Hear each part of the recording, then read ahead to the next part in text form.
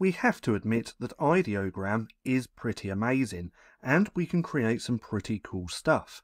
Now we can even create book covers as you can see just here.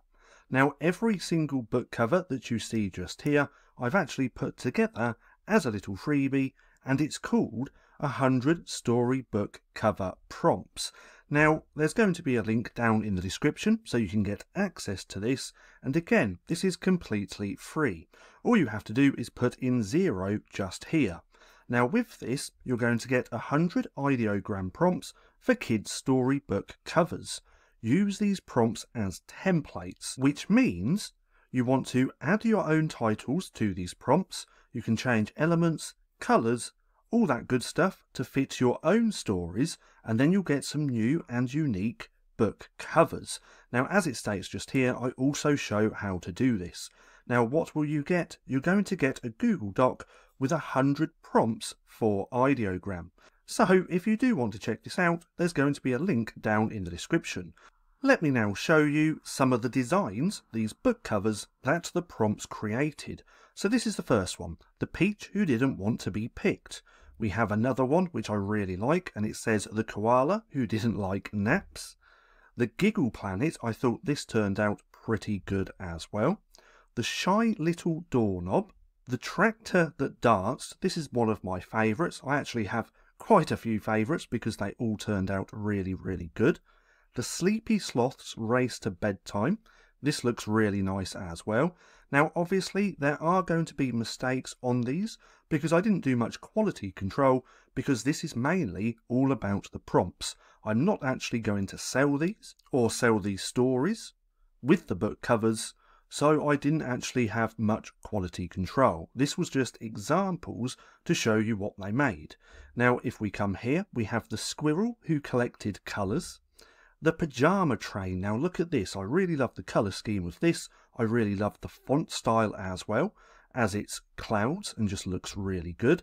The Ticklish Taxi. I really liked this one as well. The Cat Who Chased the Moon. Another really great one. Now, one thing I do quickly want to note as well. The way I created these was with my own personal generators, which are going to be coming out very soon. Now, the first one is this one just here, and this is my bedtime story generator. Now, this is for kids ages 3 to 5.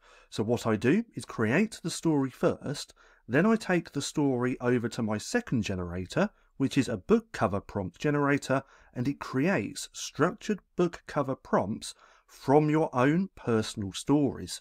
So it makes your book covers even more unique. Now, if we come over to here really quick, this is where the generators are going to be. Now, the first generator, which creates stories, is going to be released this Friday, the 7th.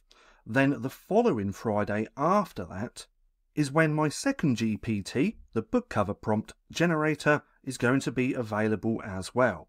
Now, I am also trying to work on a third one where we can literally take our stories, plug that into the cover generator, create a prompt for ideogram, then takes that prompt and the story, combine them together in a different GPT, and then we should be able to get consistent and consistent styles and hopefully characters throughout your book. So this is something that I'm playing around with at the minute. It is quite hard to do because it is quite hard to have consistency here in ideogram. But let me just show you this example. So this was the story I created, The Fox Who Collected Smiles. I then created the book cover by putting my story into the generator, and then this is what I created. And then the third one, which I'm playing around with, trying to work it's mainly just in ChatGPT at the minute, but then I am going to try and turn it into a GPT as well. But as you can see, I've then got some consistency with the interior as well. So this is the fox who collected smiles, and the first page would be Finn was the happiest animal in the forest. He loved to run through meadows, chase butterflies, and then obviously there would have been more. But nonetheless, I just wanted to show you this really quickly because it looks like it is going to be possible to create consistency throughout the book. but I am going to have more information about this over the next couple of weeks. So, if this is something that you're interested in, then just keep an eye out or an ear out for my videos over the next few weeks. But nonetheless, let's carry on with this. This one's the pufferfish who blew bubbles, and this really looks good as well. The penguin who painted the ice, I really like this idea as well, and the cover turned out really, really nice.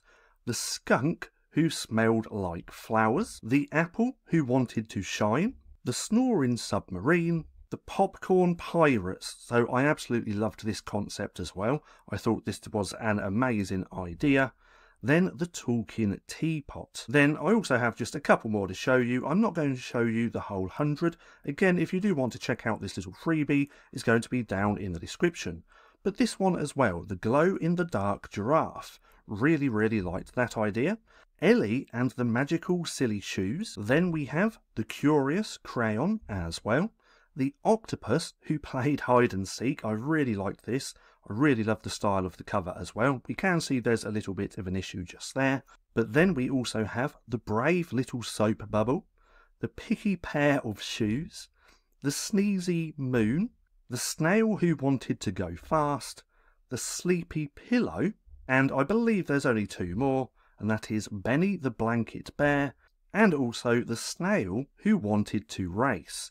Now, as you can see, the prompts have created some really, really nice designs. So again, if you do want to come and check this out, it is completely free, and there's going to be a link for this down in the description below. So, if you found this video helpful at all, then don't forget to give me a like as it really helps out the channel, and if you're not too sure what to watch next, click right here and watch this playlist.